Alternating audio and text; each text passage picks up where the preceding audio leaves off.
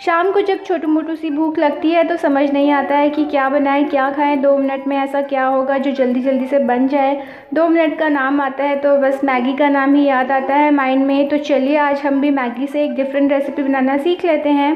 हाय दोस्तों, मैं आपकी फ्रेंड ने हाँ आज मैं आपको मैगी से एक डिफरेंट रेसिपी बनाना सिखाऊँगी जो कि बहुत जल्दी जल्दी से बन जाती है। तो चलिए उसके लिए हम अपने इंग्रेडिएंट्स देख लेते हैं। एक प्याज जिसको मैंने बारीक बारीक लंबा काट लिया है, एक टमाटर है, उसको मैंने पीस लिया है। एक आलू है, उसको मैंने छील के लंबा लंबा काट लिया है। एक चम्मच मैंने लिया है अदरक और लहसुन का पेस्ट।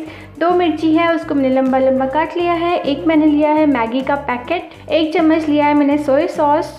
ज़ीरा लिया है मैंने आधा छोटा चम्मच नमक लिया है मैंने स्वाद अनुसार। हल्दी ली है एक चुटकी और दो तीन करी पत्ते लिए हैं मैंने। तो ये सब हमने लेना है हमारा मैगी बनाने के लिए। तो चलिए हम अपना मैगी बनाना स्टार्ट करते हैं। मैंने गैस पे एक कढ़ाई रखी है और इसको हम अब गर्म होने देंगे। कढ़ाई गर्म हो गई है। अब इसमें हम डालते हैं एक चम्मच रिफाइंड ऑयल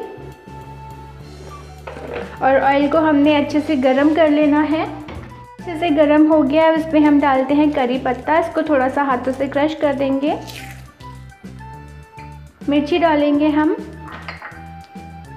और डालते हैं ज़ीरा और इन दोनों को एक मिनट के लिए भून लेते हैं।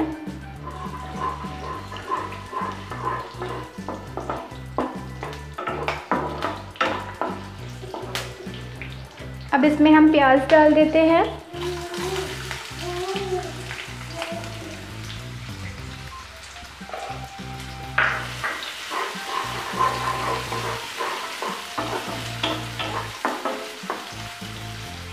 साथ ही साथ हम इसमें आलू भी डाल देते हैं और इनको एक मिनट के लिए भून लेते हैं।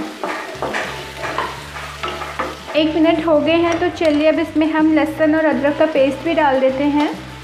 टमाटो का पेस्ट भी डाल देते हैं।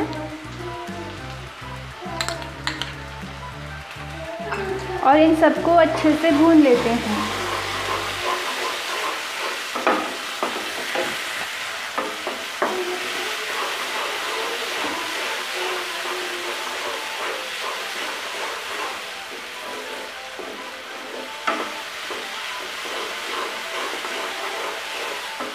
एक मिनट के लिए हम इसको ऐसे ही छोड़ देते हैं, फिर इसमें हम बाकी के बचे हुए मसाले भी ऐड कर देंगे। आलू और मसाले अच्छे से भुन गए हैं, अब इसमें हम डालते हैं सोया सॉस, हल्दी, नमक।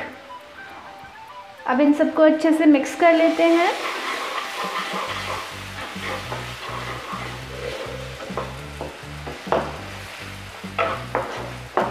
और इसको एक मिनट के लिए हम ढक देते हैं, जिससे कि जो आलू है वो गल जाएँगे।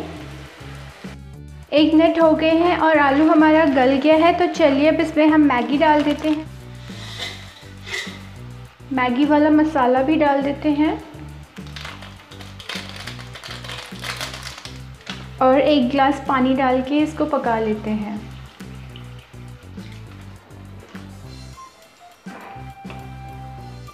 मैगी बस पकने ही वाली है, बस एक एक सेकेंड और लगेगा। बस ये हो ही गया है। और आप देख रहे होंगे, अगर आप ये वाला मैगी बनाते हैं तो आपको सब्ज़ी बनाने की भी ज़रूरत नहीं है। रोटी के साथ भी खा सकते हैं तो आप इसे मैगी वाली सब्ज़ी भी बोल सकते हैं। यह है तो चलिए अब गैस को हम बंद कर देते हैं और उसको एक प्लेट में डाल देते हैं। मैंने इसको एक प्लेट में निकाल दिया और अब ये बिल्कुल रेडी है खाने के लिए। कैसी लगी आपको मेरी रेसिपी कमेंट करके ज़रूर बताइएगा। और अगर आपने मेरे चैनल को अब तक सब्सक्राइब नहीं किया तो जल्दी जल्दी से सब्सक्राइब कर लीजिए। मिलती हूँ अगले वीडियो में। तब तक के लिए बाय बाय